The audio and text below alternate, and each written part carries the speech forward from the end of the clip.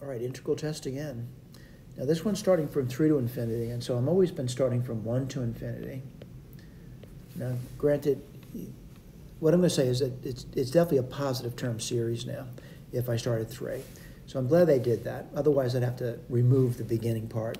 But let's write this over here. I can write down a continuous function.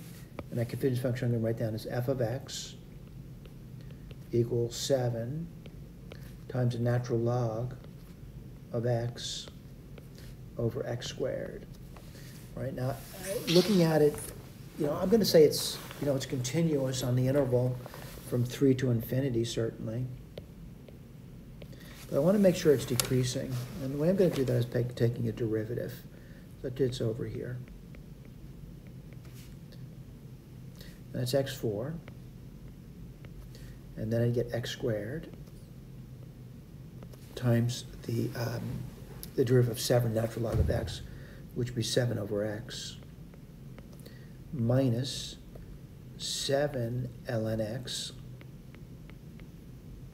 times the derivative of the bottom, which is 2x. Right? Kind of complicated, isn't it? But let's, let's write this down. f prime. Again, I'm trying to show it's decreasing. And what would you get there? You'd get 7x minus, let's see, um, 14 x ln x over x4. I'm going to reduce it. And you can get 7 minus 2 ln x. And that's over x cubed now. So really my analysis really kind of boils down to, you know, what's happening from 3 forward. And that's it. That's all I'm worried about. So looking at it, you know, the bottom's always positive. I'm kind of struggling with the top. So kind of looking at it, I get 7 uh, minus 2 ln x. And I'm wondering, what, when does that equal 0? So let's write this down. 7 equals 2 ln x. And I'm going to say over here, this would be 7 halves. You know what? I just made a mistake somewhere. I just noticed it. So it's 7x, and I just noticed it. I got to clean that up. Let me erase this over here. And I'm glad I noticed it. This is a mistake. So I divided through by um, by x. It's 7 minus 14. Sorry about that. Right, that was my mistake. I, I don't know why I put 2 there. Anyway, let's write this down. So 7 minus ln. Oops, I did it again. 7 minus 14 ln x. When does that equal 0? Well, ln x, that doesn't look too bad. That would be 1 half. And that would be x would equal the square root of a, right? Now, suppose I wonder where the square root of e is. I hope you realize it's below 3. So I don't have to worry about that. All right, it's over here somewhere. All right. So if I go above 3, just take any test value, whatever you like. Um, you know, take, I don't know, e squared if you want. And if you did that, you plugged it in over here. Again, e squared's over here somewhere. And you plugged in e squared, what would you get?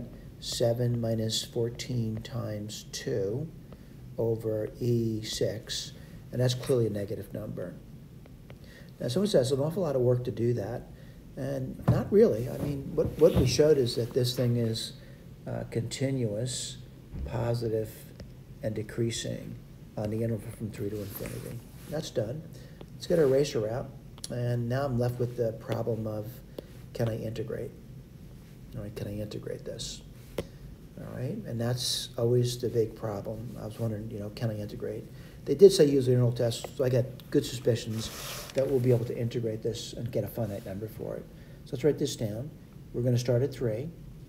We're going to go off to infinity, and you're going to get 7 times the natural log of x over x squared dx. You know, it, it looks like a, a problematic problem, so I'm going to say I, am going to do the integration on the side, and then I'll, I'll, put this down as a limit problem. Limit and I'll say a goes to infinity. And I want to get the antiderivative, and that antiderivative is going to go from 3 to a. All right, so um, what I need to do now is, um, I guess I have to do some integration. So let's put this over here, 7. This is my side work. I got uh, x to the minus 2 and times ln x dx. And I'm going to try integration by parts. I'm going to say u is equal to natural log of x, and du would equal 1 over x dx. Now, if I said u is equal to ln x, I'm going to say x minus 2 dx equals dv. And v, what do you do? You increase the exponent by 1, so minus 1. So it's minus 1 over x. All right, so write this down. It's my side work. 7. And you're going to get minus the natural log of x over x minus, we just did uv, uh, let's see, we're going to do a du now, 1 over x dx. And the dv is going to be minus 1 over x, so I get plus, and I get this now. And uh, I think I can do it. Let's put this down. And what are you going to get? It's going to be minus 7 ln x over x. And we just did this one, right? So it's really x to the minus 2, which can be uh, minus 7 over x plus some constant of integration. All right, so I'm going to go back up here and write that down. And let's put it down. So minus 7 ln x over x. You know I get common denominator, so just put this over here. And then minus 7. All right? So what I need to do is I need to do the limit. And as I do that, I'm going to pull out the minus 7. Limit. A goes to infinity. And what do you get here? Let's take a look at this. Be really careful. So it's going to be, uh, let's see, it's going to be ln A minus 7 over A. And then minus Well, I get 3, and then I get ln 3. Uh, you know what? I think I made a mistake. It's plus 7. And this was plus 7. Can I do that limit? I sure can. Put it over here. This is equal. Oh, by the way, um, I'm doing a goes to infinity, right? So really I'm looking at ln a plus 7 over a, and the bottom grows faster than top, so that's 0. And then I get 7 times the natural log of 3 plus 7 over 3. And this is a finite number. So what do I know? This converges. All right, let's look at the key, by the way. I want to point out, in the key, I, I, I did a couple different things, and I want to point out, you know, that derivative thing, positive, decreasing, continuous on the interval.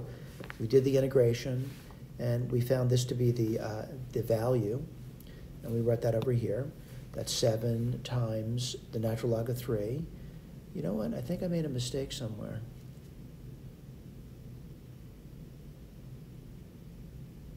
Yeah, I did. I don't want to do the whole problem over again. And this is, you know, problematic. I, I write something that's not true. And when you factor, and part of it just, I guess, sloppiness. So I'm going to erase some of my work. Erase this business. I'm done with that. That was my side. I don't think that was the mistake. So I'm gonna, I'm gonna be, yeah, I got a little sloppy there, no doubt about it. And let me erase this too, all right? Got a little sloppy. So I, I filled out a minus seven. Then you get ln, limit, I'm sorry, not ln. A goes to infinity. And remember, I pull up minus seven, so what do you get? ln x plus one over x, and that's gonna be three to a. And that was my mistake, by the way, just sloppiness. So minus 7, limit, a goes to infinity. You would get natural log of a plus 1 over a minus the natural log of three plus one over three. And again, that first term disappears as a goes to infinity because the bottom grows faster. So you're left off with seven times the natural log of three plus one over three. Let's just simplify a little bit more, ln three plus seven over three. And that, that was my problem, I, it just sloppiness. So I get this over here, I get this over here. The series converges as we stated. Thank you.